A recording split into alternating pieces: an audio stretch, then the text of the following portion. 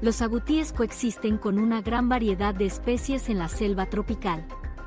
En 1 Corintios 12 versículo 14 a 20, la Biblia compara la comunidad de creyentes con las diferentes partes de un cuerpo. Los agutíes ejemplifican la belleza de la diversidad y nos animan a apreciar y aceptar las virtudes y contribuciones únicas de quienes nos rodean. Los agutíes se preparan diligentemente para el futuro enterrando y almacenando alimentos. En Proverbios 21, versículo 5, encontramos un énfasis similar en la diligencia. Los planes del diligente conducen a la ganancia tan ciertamente como la prisa conduce a la pobreza.